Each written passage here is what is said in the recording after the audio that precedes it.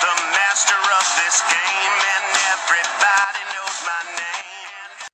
Hey guys, today it's a pretty good day for um, some five line skinks. Um, I think breeding season might have just ended, but maybe it's still going on. I'm not sure, but I've seen a bunch of juvies lately, so um, we're gonna go out and look for some five line skinks today. Um, I really want to find one so I can show you guys how pretty these little animals are, but how fragile they are. So, okay, stay tuned. Okay, guys, look at this. We found a baby juvenile five line skink. And it has such nice colors to it. I mean, it has a copper head, has the bright blue tail, and the kind of yellowish five lines going down their back. Uh, the scientific name for the five-line skink is Eumeces fasciatus. And, um, yeah, it's just such a pretty little lizard. Um, these things, uh, when they're males in mating season, they the males get this orangish color to their jaws in breeding season. And I guess it just get, kind of goes away afterwards. And, um, yeah. But these things, their tails are so fragile that if you probably pick them up by the tail, it'll probably break off. So you've got to be very, very careful with these and um, their color to their blue tail, it loses it as it gets to be an adult. And then they get kind of, they kind of start losing the lines too.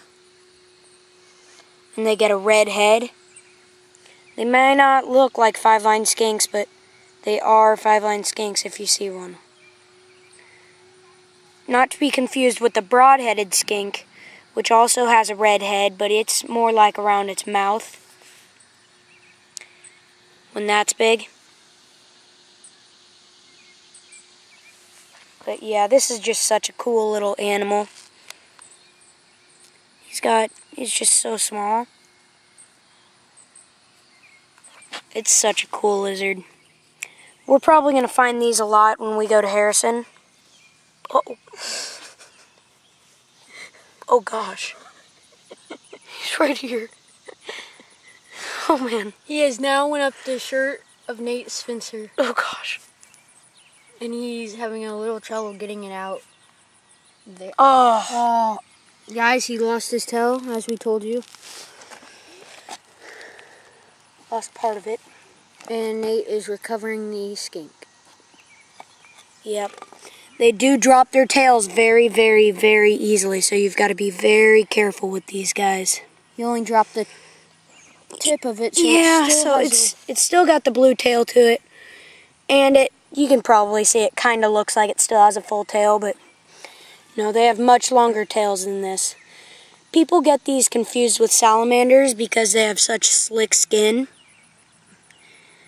And yeah, like I said on the salamander video, they snap their tails off to get away from predators so the so the predators see the tail wiggling around and its bright color. Predators go for that in like instead of the skink. So the skink gets away and the predator is eating the tail. But people, yeah, people do get these things confused with salamanders all because of their slick skin.